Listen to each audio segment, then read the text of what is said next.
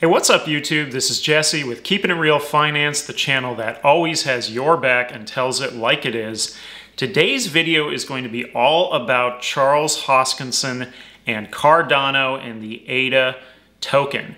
Now, I will tell you right up front, I did more research on this video than I've done since I was in college, and that was about 17 years ago. so I did a lot, and, and quite frankly, when I was watching Charles on the Cardano website, Whiteboard, what Cardano is all about, I felt like I was back in college, and it was pretty awesome, I've got to admit. He is, he is very intellectual, very smart guy. He could easily be a college professor. So I hope to have a fantastic video for you today with a lot to learn all about the background, what Cardano is, as well as towards the end of the video, I'm going to give you the bottom line, what I think the value is here, what I think it could be worth. Is it a great investment opportunity for you? That is all going to be in today's video. So if you are a first-time viewer, make sure to hit the subscribe button, click the bell to turn on notifications so you know when I'm posting time-sensitive videos just like this one. And as always, if you like today's video, make sure to smash the like button. I would greatly appreciate it, and with that, let's get it going.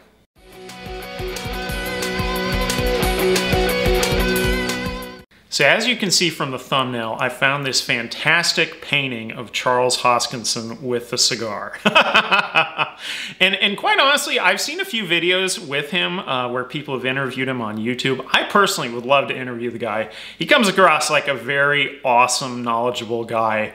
Uh, but I thought that was that fantastic thumbnail picture with him and the cigar. So just wanted to put that out there. So let's get into it. Okay, so first of all, Charles Hoskinson. He is a mathematician who studied analytic number theory, okay? Um, he is also a left-handed academic who loves peer review. As somebody who um, appreciates education, college, you know, continued learning, higher learning, uh, some of these little things like that I pick up on, and I think that is absolutely awesome, all right? Now, he is known for one, being one of the eight original founders of Ethereum.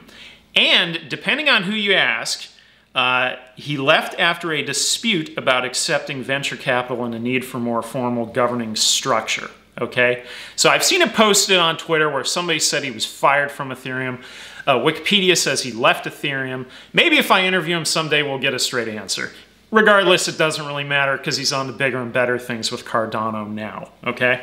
Now, after Ethereum, a former colleague named Jeremy Wood approached him about forming a new company called Input Output Hong Kong, or IOHK, a research and engineering company that would build cryptocurrencies and blockchains. So the main project of IOHK is the Cardano network and ecosystem and the resulting cryptocurrency ADA. Okay? So what is Cardano? Well, Cardano launched in 2017 and it's a cryptocurrency network and open source project that aims to run a public blockchain platform for smart contracts. Now, ADA is the token of the Cardano network, as I stated earlier. Cardano was actually named, I didn't know this until researching, after the Italian Girolamo Cardano. I probably butchered that. Girolamo Cardano, okay? Uh, who lived from 1501 to 1576, who was considered a polymath which essentially is somebody whose knowledge spans a substantial number of subjects known to draw on complex bodies of knowledge to solve specific problems. So this is kind of a cool little shout out they're doing here, right? Now Cardano is famous, uh, this, is the, this is the original guy, uh, for his achievements in algebra, as well as he invented the combination lock, the gimbal, and the Cardano shaft with universal joints. He was also, this is funny, an accomplished gambler and chess player. Interesting. okay. now, the token ADA was named after Ada Lovelace, who is known as, quote, the first to recognize the full potential of computers and as one of the first computer programmers. She lived from 1815 to 1852. She actually died really young. Um, but interesting, the throwbacks here, right? So now for awareness, Cardano was originally launched with a market cap of 600 million, right? So what is Cardano's advantage over Ethereum or Bitcoin, right? So Cardano is secure like Bitcoin, but doesn't take anywhere near the computing power and what they, what, the way they do it, they have their own system that they call Ouroboros, okay?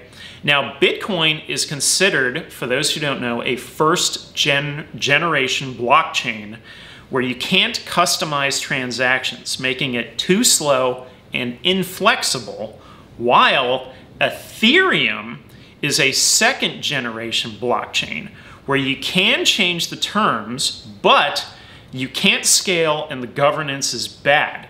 And Charles mentions this, okay? So sustainability doesn't work well at all on projects. And you have multiple coins uh, from the same coin unnecessarily. So he doesn't like that. So he gives examples of Bitcoin to Bitcoin Cash, Ethereum to Ethereum Classic. Uh, it seems there's a better way to do it, right?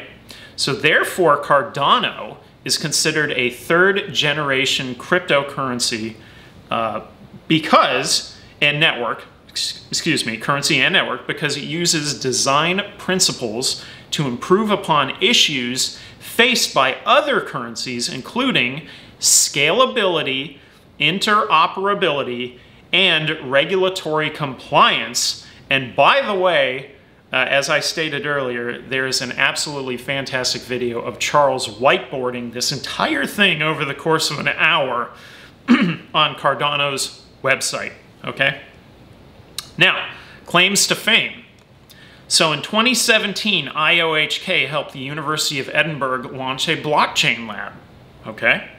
In 2018, Cardano teamed up with the Ethiopian government to deploy their technology throughout the country. That's pretty impressive. That's an entire country, right? In 2019, Charles signed a memorandum of understanding with the Minister of Education from the country of Georgia. So this is near Russia, the country of Georgia, to use Cardano to build a credential verification system. Now, New Balance, the shoemaker, plans to use distributed ledger blockchain to track the authenticity of its new basketball shoe using Cardano. Now, some recent news on Cardano uh, that just came out of the last couple days. Um, this was as of a couple days ago from Cointelegraph that the price had rallied 139% following smart contract implementation. So according to Cointelegraph, their quote, successful testnet integration of smart contract functionality and plans to enter the DeFi space, unquote, are what is fueling the surge. So they tested it, it works, they're getting into DeFi. As I mentioned in my Aave video, that's why Aave is absolutely exploding right now. It's DeFi. Uh, the, the coins, the, the ecosystems that are into DeFi, they're gonna be the ones that you really need to keep an eye on for your portfolio, okay? Now, the amount of ADA currently staked is also at a record 72% of the supply, or 22.6 billion tokens. So that's impressive. So, for those who don't know, Cardano has a roadmap, and this is on their website.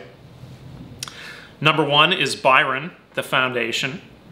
Number two is Shelley, decentralization. And by the way, these are all um, based on famous people from the past.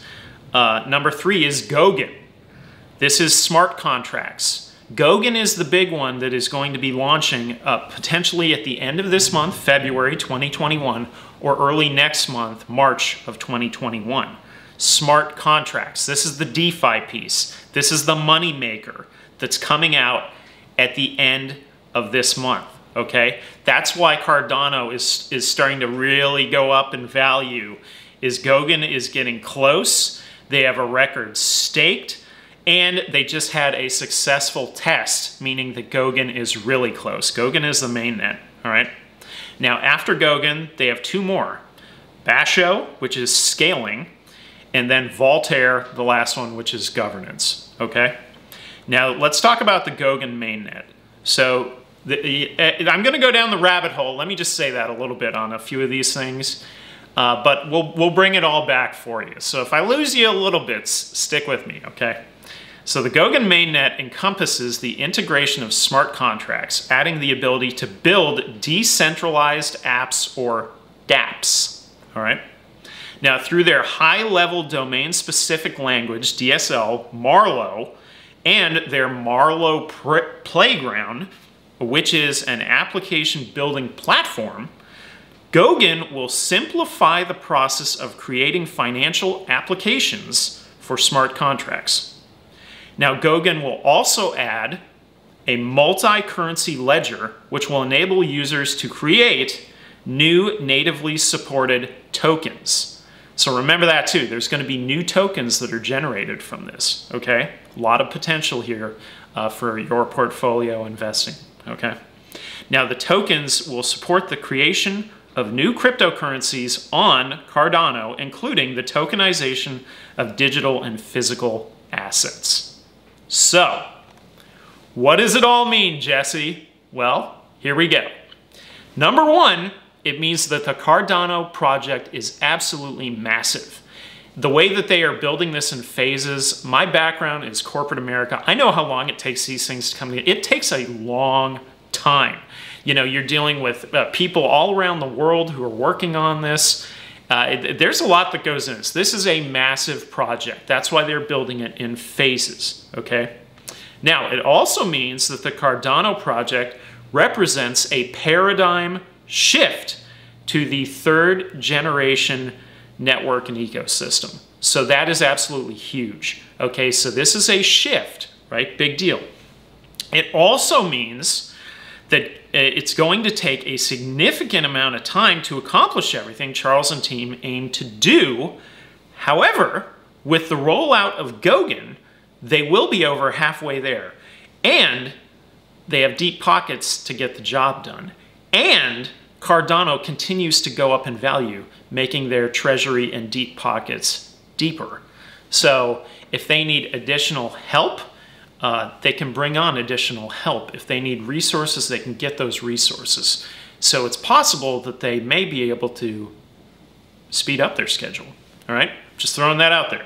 Now, it also means that it will significantly impact where Cardano sits on the fees chart. Located, you can find this yourself at cryptofees.info for anyone out there who's interested, where it's currently generating, as of today, around $4,000 per day in fees, where you want to guess how much Ethereum's making? 20 million. so so they got they, there's some room here for them to go up big time, right? And when Goguen comes out, that's what's going to start changing this. And then you're going to see Cardano moving up the fees chart. And that's very important, all right? So the bottom line is Cardano represents a massive potential as a long-term investment. And while you're going long, you can stake it in the meantime, just as 72% of all of the tokens have already been staked, generating passive income and further increasing your position. All right? So the way I see it is if Charles doesn't get caught up in the minutia and continues to move the project forward, it has wide-ranging implications in the crypto space. I believe that 100%. Now, could it be valued higher or equal to Ethereum or Ethereum 2.0 someday? Sure it could, okay? Now, Bitcoin, for those who don't know, started trading in July of 2010. And Bitcoin is capped at 21 million coins. That's all there will ever be. There will never be more Bitcoin. This is why all of the institutions are getting into Bitcoin now. For anybody who follows Michael Saylor and his World Now conference that he finished just last week, uh, the first person he interviewed was Ross Stevens. They have the all of the interviews of the, the entire conference on MicroStrategy's website, and you can watch them. And I watched Ross Stevens talk about exactly that. That the reason Bitcoin's so great is because it's capped. So Ross thinks over the next 10 to 20 years, Bitcoin will rise while the dollar goes down. And that will create a fundamental question for every CEO out there of do they continue to hold fiat currency or do they switch to a new standard that's Bitcoin? So remember that. So the reason they're doing it is because Bitcoin is deflationary, which is the opposite of the dollar. So at the dollar, the Federal Reserve can print more whenever they want. You have no control. Bitcoin, on the other hand, it's set. There will never be more. We can keep slicing it further and further, right? So, you know, for anybody who's just getting into crypto, just because Bitcoin's trading around 45,000 doesn't mean you need 45,000 to buy it. You can buy it for 10 bucks, but you're going to get 0.000001 and that will continue to happen with Bitcoin, okay? But something else here with Bitcoin is they continue to take all of the uh, supply out of the market. Demand will go up. So as supply goes down, demand goes up. That's what's happening right now. So with Tesla's massive news the other day that they purchased $1.5 billion worth of Bitcoin. Huge. And everybody's talking that Apple very well could be next. So Apple hasn't said anything, but if, if they do, massive, right? Uh, these, are, these are shifts that are happening in the industry. So going back to what I was talking about, Bitcoin came out in 2010 and is capped 21 million coins. Ethereum started trading in July of 2015, but is uncapped. So more tokens are made each year. Think of the dollar, right? So whereas Bitcoin is deflationary, Ethereum is inflationary. Now, in fact, it's pretty difficult to actually determine how many Ethereum tokens there are. It's, it's extremely difficult. There, there are some really good articles out there that, that try to figure it out. And I don't know if anybody clearly knows. It's, it's kind of crazy, right? So honestly, I think a lot of the value in Ethereum is simply because many people are ignorant to cryptocurrency in general. They just don't know. No one knows yet. This is too new. We don't know, right? And so I think that they sort of just tag on to Ethereum because they go, oh, that's Bitcoin's little brother. Give me some of that, right? And that's what they do. But they don't really know the back, the, the inside, the inner workings. They don't know that Ethereum is uncapped. They don't know those things, right? So these, these are critical things to know. I actually didn't even know that before this video. so full disclosure, that was one of the things I learned. I was like, holy cow, right? So what that means is that in the future, further down the road, as Cardano gains market share, Ethereum could absolutely, potentially lose market share. Now, could it keep getting better? Yes. Could people keep tagging on? Yes. I view right now just as if the stock market were nine years old. The crypto market is nine years old. So regardless of all those things, could Ethereum continue to go up? Yes, it could. but the fundamentals say that it, it is not deflationary, it's inflationary, okay? Now to Cardano. So Cardano started trading in September of 2017 and is capped at 45 billion tokens. So significantly more tokens than Bitcoin, but the fact that it's capped means that it is deflationary in the long run. That's critical, all right? Now, as Cardano continues to rise in value, could the timelines be sped up, as I mentioned earlier? Yes, they could. So it, it, keeps going up in value. As they get more and more resources, this, this thing could really, really speed up and get some momentum. That's true. So, is Cardano the Ethereum killer? I'm not so sure. Uh, is the tech better in Cardano? Yes, that's a resounding yes. Is the cap on supply better in Cardano? Yes, that's also yes. Can it do what Ethereum and Bitcoin can't? Yes, that's, that's a yes. Now for the nose. Is it fully functional as of today, February 2021? No, it's not. Does it have the PR of Bitcoin and Ethereum? No, it doesn't. Is it on all of the exchanges? No, it's not. It's not on Coinbase. It's not on some of the major exchanges. It is not there yet. But that may also create an opportunity if you can get it on one of the other exchanges. Because when it does go to Coinbase, it is going to go up even higher. All right.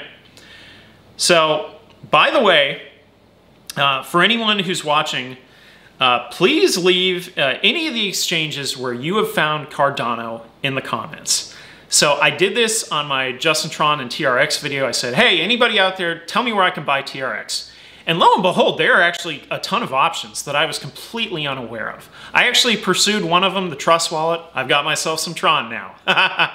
so uh, for, for everybody who's watching this, leave a comment in there if you know somewhere else that hasn't been mentioned in the comments or give a like on, on which, which places are the easiest to get Cardano.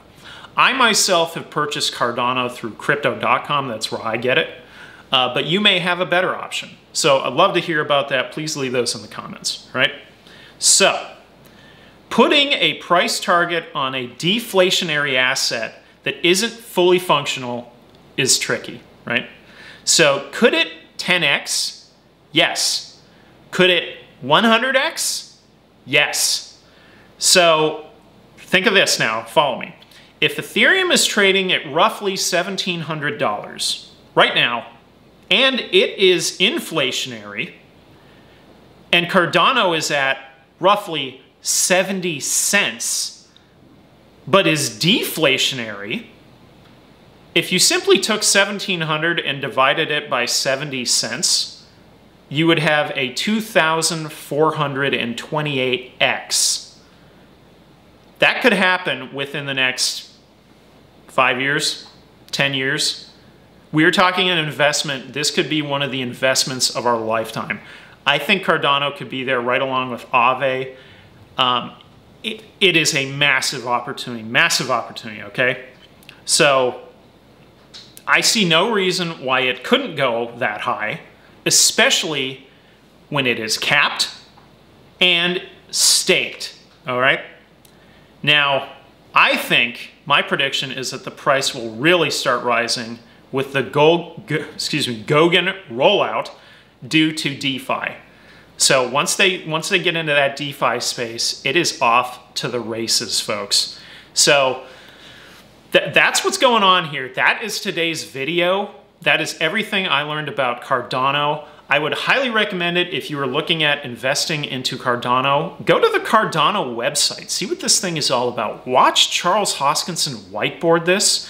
I would love to sit down with him and drink a beer. So Charles, if you ever watch this video, if you want to sit down with me, drink dr drink a beer, you could even drink it on your end on Zoom, and we could do some kind of interview. That would be absolutely awesome. Uh, I love being around people like him. He's got that factor that you could just sit in a room and listen to him talk about this for hours and he, and he could go through the rabbit hole of all these different things that you never even knew about. So I'm highly impressed with Charles Hoskinson. I really don't care how he left Ethereum, doesn't matter at all. What they're doing now with Cardano is extremely impressive. This is third generation technology. As I've stated in other videos, this is like going from Microsoft to Apple iOS, right? It's, it's a totally different thing. A lot of efficiencies, a lot can be gained here. You know, in the long run, who's the more valuable company? Well, as right now, it's Apple. so uh, things to think about, right? So again, it is an absolutely awesome time to be a cryptocurrency investor. I hope you're all excited about this one, just like I am. I am stoked for, for Cardano, and I want to get me some more Cardano. I'm going to keep adding on this one.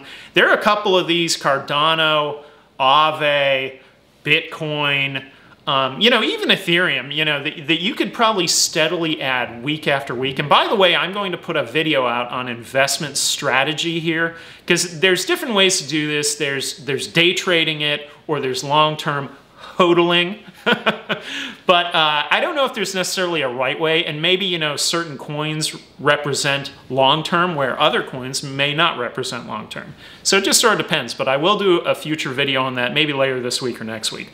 So that's today's video. I hope you enjoyed it. It is all about Charles Hoskinson and Cardano, ADA. Please leave anything in the comments uh, that you, you feel I may have missed or uh, anything that you want to share with anybody. It is an awesome opportunity and I am so glad that I got to share that with you today. So as always, this is Jesse with Keeping It Real.